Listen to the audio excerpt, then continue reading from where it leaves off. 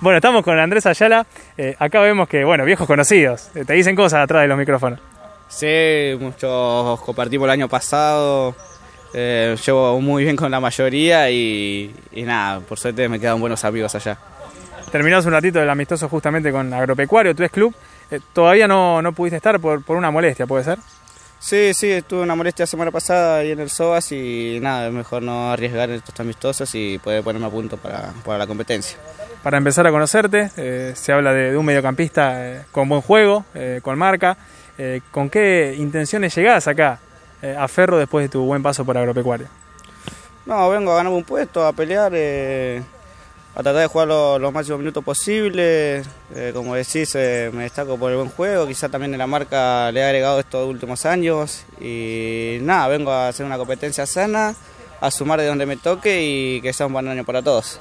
No te tocó estar hoy por la molestia, pero pudiste ver de afuera el partido. Eh, ¿Qué viste? ¿Qué notaste del juego? Van encontrando un poco la idea de- del entrenador. Vimos la línea de 5 que intenta salir por abajo.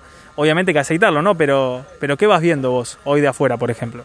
Sí, sí, es eh, ir conociendo la idea del entrenador, eh, ejecutarla, eh, ir conociendo a los compañeros también, eh, los movimientos, eh, pero los chicos te van a ir de a poco soltando y de a poco yo creo que nos va a ir mejor, más con los amistosos y puede llegar bien a la primera fecha del torneo.